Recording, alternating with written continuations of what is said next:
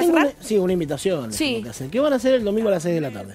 Ver el 7. Bueno, yo los invito a que vengan, que nos acompañen, porque Gimnasia se juega un partido importantísimo en Río Cuarto entre estudiantes.